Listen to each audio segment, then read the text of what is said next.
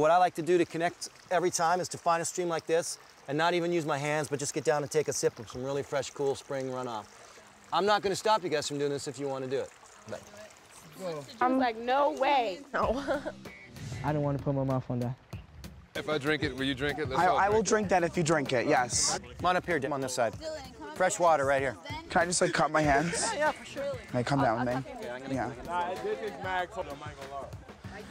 Oh my gosh. Ew, it was so mucky. No, Dylan, no, no. Oh. Go to the clean pool, the clean pool.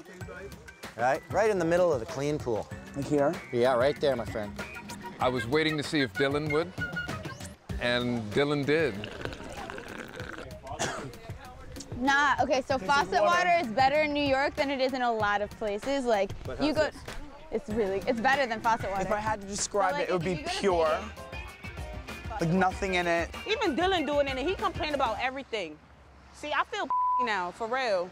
And I guess I started a trend because everyone started drinking from that stream. This water tastes better than faucet water, and look where it's at. It actually tastes good. Isn't that surprising how fresh and cold and clean it is? This water? Yeah, that's really good water. I didn't think you were going to do it. I'm, I'm, I'm proud, man. It tastes good, right? All right, guys. I'm very proud of you guys for doing that. That's awesome.